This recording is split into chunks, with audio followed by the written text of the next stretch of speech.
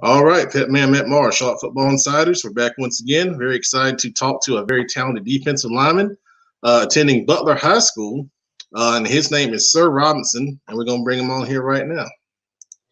How you doing, Petman? How we doing tonight? I'm doing good, man. How you tonight? I'm doing great. Doing good.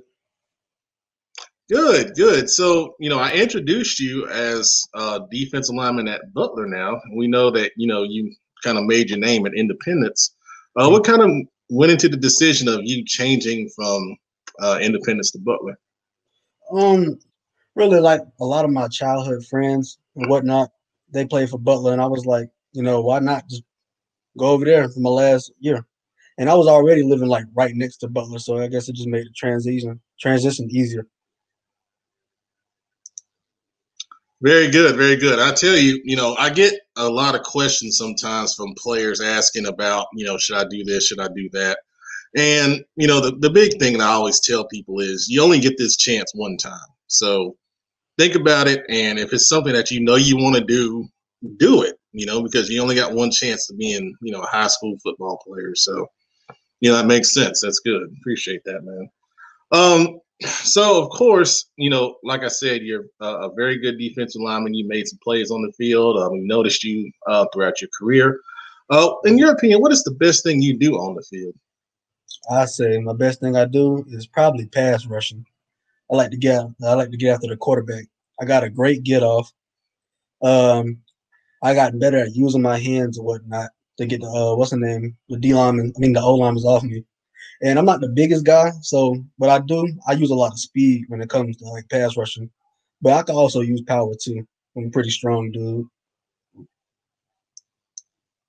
Very good, I, and I would agree with that. I mean, there were some times I was looking at a couple of highlights from you know Independence last year, and you know you flashed, you flashed, and I said, you know, I gotta, I gotta talk to this kid, and you know, I'm glad we were able to get you on here and get you some uh, shine and recognition. So, you know, very good. Your film matches your statement. That's awesome, man. Uh, so let's back up a little bit. Uh, first of all, I want to know uh, what made you want to play football in the first place. Um, I remember I was about like eight years old, and I was always like naturally strong. And my dad, he just asked me one day, "Did I want to play football?" So that's when I started playing football. But my my first two days at that first practice, man, I was crying. I wanted to quit because the hel- the helmet was just too heavy. I was crying. I couldn't like you know you getting a D lineman stance. You got to lift your head up. I couldn't really do that. I couldn't do like no. I just I was I was just not that good at first. But then uh he taught me. He talked like talked to me about it and told me that I should never quit. And eventually, I just got better at it. And then here I am today. That's awesome, man. That's awesome. So, what age did you start playing? Uh, eight years old. Okay. Okay. Well, that's good. That's good. I mean, it's good that you persevered through that, and you know now you're starting to see the benefits of it, and now you have the ability to go play on the next level, which leads into my next question. Um, you know, we talked before this. You said you got a couple offers from schools, and you're going through the recruiting process. Uh, number one, what do you look for in a school on the next level? And number two, do you have any favorites in that process right now? Um, what I look for a school is a great program. They got a lot of like good majors that I want to major in and whatnot. Um, just the atmosphere, the people, and what favorites. I say I would like to go to HBCU personally. Like my hometown, I'm from Tallahassee, Florida, so I like to go for the HBCU. I would like to go to FAMU or something like that. Very good, very good. Um, you know, I'll share a quick personal note. Uh, when I was going through the process when I played, um, one of my biggest regrets was not going to HBCU just to get that culture and that you know experience. So I totally respect that, man. But um, you know, you that's very intelligent. You know about the majors and what you want to do, so you're on the right track. You know, to make a good decision. That's awesome.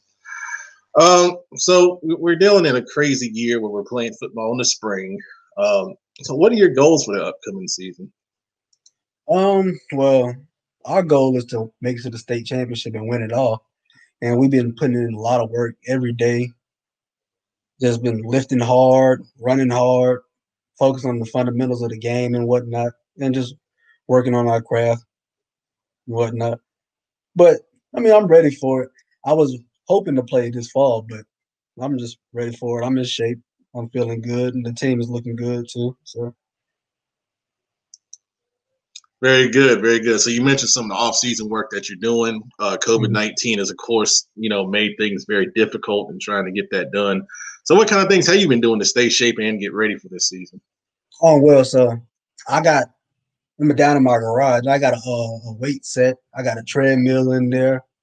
I got this um, the little parachute that you put around, you run on and working on how you get fast and whatnot. That's what that's like some of the stuff I've been doing at home. And then I've been working with some of my friends or whatnot. We've been going to like the sand pit and uh going to like Matthews Sportsplex, just working on our footwork, agility, and like some D line moves and stuff. Very good, very good. It's nice that you're able to, you know, self motivate and get out there and get that stuff done because, you know, you see a lot of people posting their workout videos on Twitter and Instagram and things like that. But you know, for I always tell people, for every video you see, there's three that people are just sitting around eating potato chips and you know being lazy. Know, I commend you for getting out there and, and getting the work done, man. That's awesome. Um, I want to talk about your career a little bit. Um, in your opinion, what is the best high school football game you've ever been a part of? Probably you must have been a good, it's been a lot of good ones. I'd say probably the Rocky River game from last year. Uh, what's the name? Where we had like a game winning, we had the uh, the game winning interception and whatnot, and we had like my uh, teammate Davion, he had that 99 yard touchdown run to seal the game off and whatnot. That was probably that was probably the most exciting game we've been a part of because it was like they was in control the whole game, and we just fought back. We fought hard, and we ended up coming out on top that game. Very good. And yeah, I remember that run, man. I was watching the highlights. Mm-hmm. I said, "Good gracious, that's, that's incredible, man." Uh, you don't see that very often, so that yeah. that's awesome. It's a good deal, man. Um, who would you like to thank for your football success so far? Um, my dad, my mom, all the coaches that ever coached me in the past and that's coaching me now. And a handful of my friends too, because we always like get together and work out and we always push each other and motivate each other. Very good, very good, man. That's awesome. Good stuff. Good to have a good support system. That's that's really mm-hmm. good. Um, before we end this, I, I want to get your opinion on uh, what's going on in America. We just finished the election. Um, we got a new president elect, but of course, we're pretty much divided. Uh, mm-hmm. There's been a lot of social injustice going on, a lot of protests, uh, things of that nature. Uh, what are your thoughts on everything that's going on right now? I mean, all the shootings and stuff, that's just terrible. I feel like we could do like better as a country and whatnot because we've been dealing with this stuff for like over 400 years. So it's like it's time like we get treated better as people and whatnot. So that's really how I feel about that. Yeah, I agree. I agree. I mean, at some point, you know, something's got to give if we want to get better. And you know. I think it's just going to take a couple of sides to sit down and start listening to each other and understanding where each other comes from. Uh, so I definitely agree. Um, so we're gonna have a lot of people watching this. Um, you know, of course, we're recording this; it's not live. So, um, mm-hmm. what do you want to say to people that support you um, and have supported you throughout your career? That's going to take a look at this. Uh, I want to say thank them and whatnot, because if it wasn't for them, I probably, I don't know, I don't know how good I'll be, or I wouldn't know, I don't know if I'll be as good as I am now. But yeah, that's what, that's what I want to say, and what they can expect to see this season coming up they can expect to see a lot of dom- domination up front, a lot of sacks. We got a seven game season, so I'm, I mean, I'm aiming for at least 10 sacks this year, pretty much. And we're expecting to win it all. That's awesome, man. That's awesome. I mean, and you mentioned the talent over there at Butler. Um, I think you got, you know, some really good talent and some kids that I've talked to uh, previously. Um, and then you got a really good coaching staff with Coach Hales, one of my favorite guys to always talk to and uh, work with. So um, I'm excited to see what you guys put together over there this year. And um, you know, I appreciate your time coming on here tonight and sharing a little bit with us. And um, no problem. Hopefully, we'll see you. Absolutely, and hopefully, we see you on the field here soon. Um, this COVID stuff is crazy, so hopefully, you know, in the spring we'll get over there and uh, we'll talk in person again, man. All right. All right. Thank you, man. Appreciate you coming on tonight. All right. No problem. Thank you, too.